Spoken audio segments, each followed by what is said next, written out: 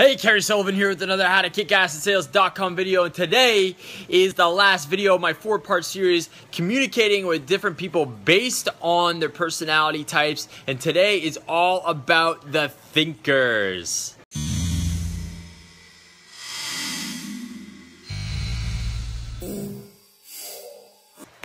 Okay, so how is it that you can ID and then sell it to someone who is a thinker. And on the DISC score, these people are going to be very high in the compliance zone. So they tend to be slow and systematic in the way they do things and they're also that way with the way they speak. It's more slow it's very precise they're not very emotional when they do speak. There's not a lot of voice inflection. They will tend to be more monotone when they talk. Their workspace is going to be very neat and tidy and very organized. They will have charts on the wall if they have anything on the wall at all um, and they're very task orientated right and they're very driven by things being accurate and having systems in place. So that is really how you can identify these type of people. You know, your accountants, your uh, tech people, your hardcore tech people who make software, a lot of the time they tend to be like this. Now, how do you sell to these people? So they're gonna want solid factual evidence, right? So you have to give that to them. You have to give them the numbers, the stats,